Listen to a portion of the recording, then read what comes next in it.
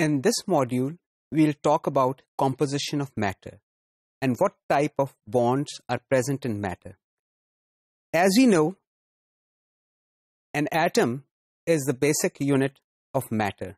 So let's look at the anatomy of an atom. Atoms, we will look at the simplest case scenario of an atom, which is a hydrogen atom. Hydrogen atom has a single positively charged particle at the center, which is called the nucleus. This, this positively charged particle is called the proton. Around this proton, a negatively charged particle called electron revolves. The electron, which is revolving around this positively charged particle, has to follow certain rules. It has to follow the rules of an orbital. Orbital is basically the space around, around the nucleus. Orbitals like to have two electrons. To understand this concept, let's look at an analogy. Let's look at the analogy of a fan. Think about a fan with a single blade. If we try to operate a fan with a single blade, it will wobble because the blades are not balanced. Single blade cannot be balanced. So if we have, however, if we have two blades on that fan, which are balanced, balancing each other, the fan will be able to rotate in a stable manner. So, hydrogen atoms, they don't exist they, uh, as single atoms. They like to form bonds which allows them to share electrons with other atoms.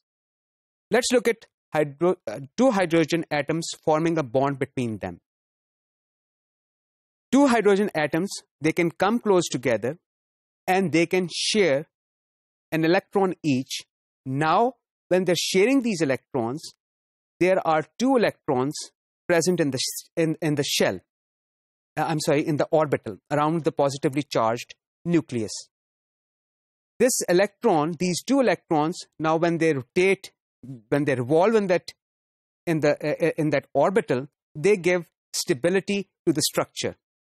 This type of bond, which is formed by sharing two electrons is called a covalent bond. Let's look at the structure of another atom, the carbon atom, which plays a very important role in living molecules. Carbon atom has four electrons in the outermost region.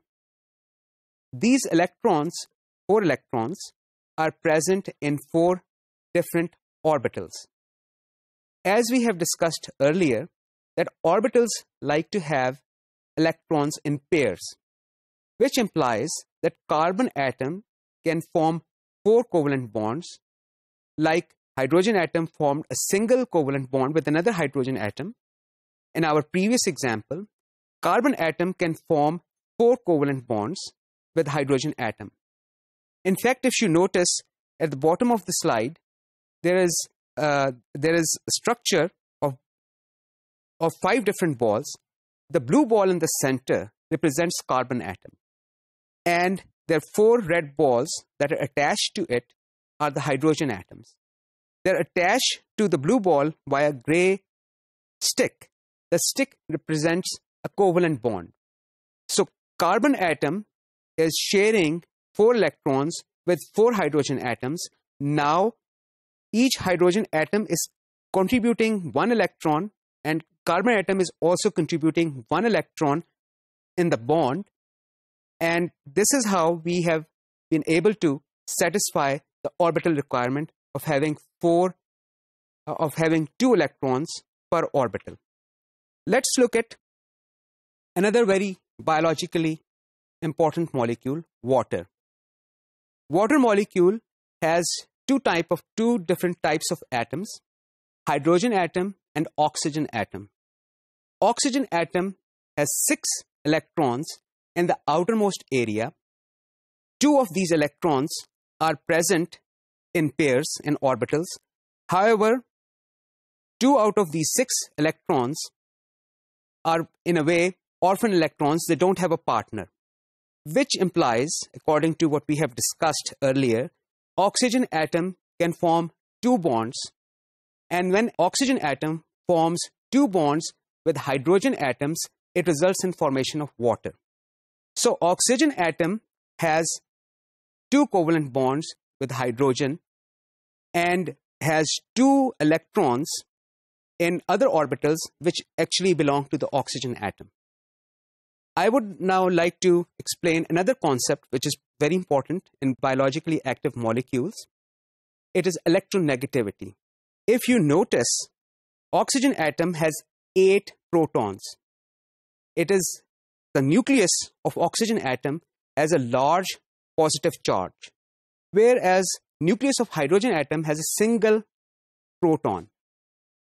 So if we think about it, eight protons will have a much greater pull on the electrons that is that oxygen atom is sharing with hydrogen. So naturally, consequently, oxygen atom has, since it has more hold on the electrons which it is sharing with hydrogen atom, it keeps those electrons closer to itself. We already know electrons are negatively charged. So the net result is oxygen atom has slight negative charge on it. And hydrogen atoms would have slight positive charge. This ability of an atom to have greater pull on the shared pair of electrons is called electronegativity. So oxygen is more electronegative than the hydrogen atom, resulting, which results in partial negative charge on oxygen atom. If we look at water eh, in context with other water molecules, the partial or slight negative charge on oxygen molecule will result in attracting the hydrogen atoms of other water molecules which have a slight positive charge. This attraction results in a weak bond which is called the hydrogen bond. Let's look at another type of bond, the ionic bond, in which an atom donates its electron to another atom. When an atom donates its electron, it becomes positively charged, and the atom that receives the electron becomes negatively charged. Because these two atoms have opposite charges, they attract each other, and this attraction results in a bond which is called an ionic bond.